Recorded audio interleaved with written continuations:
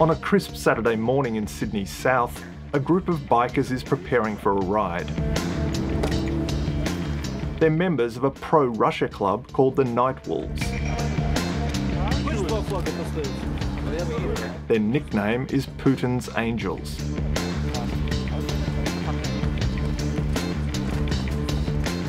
We join because of the bike, so obviously you can't join the club unless you're on the bike. That's the first thing. We all got common interest. So we don't do drugs, we don't do weapons, we don't do any of that stuff. We just want to show the world or the Russia or whatever, whatever you want to call it that Russia had a massive history and we're trying to keep it up. The Night Wolves are among an international network of patriots determined to remind the world that Vladimir Putin's Russia is a force to be reckoned with.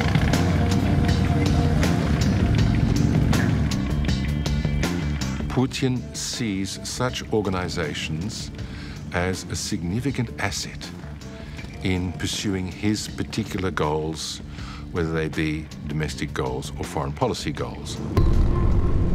You can use the Russian diaspora, the Russian community, to seek to build your influence and then use that influence, tis to be hoped, to shift Australia's policies.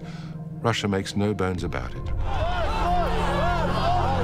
Russia, Putin has launched a brutal crackdown to crush pro democracy protesters. While in Australia, his supporters are determined to shout down Putin's critics. We're here with our President Vladimir Putin, supporting the President, supporting Vladimir Putin against this opposition scum. Why would Russia care about Australia? Russia cares about Australia because Russia cares about everywhere. The fact of the matter is that Russia is aware of what's going on in Australia and certainly does not regard it as insignificant. Australia has also become a safe haven for rivers of dirty money flowing out of Putin's corrupt regime.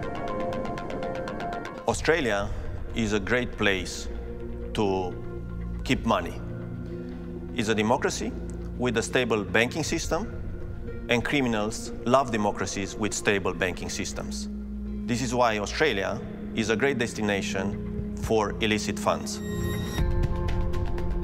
Tonight on Four Corners, we investigate Russian money and influence in Australia. We track the tainted cash from Russian criminals and politicians that has washed up on our shore. We reveal how one of Putin's closest allies lobbied Australia to help lift US sanctions from his business interests, and how a propaganda war is being waged right here to support the Kremlin's global agenda.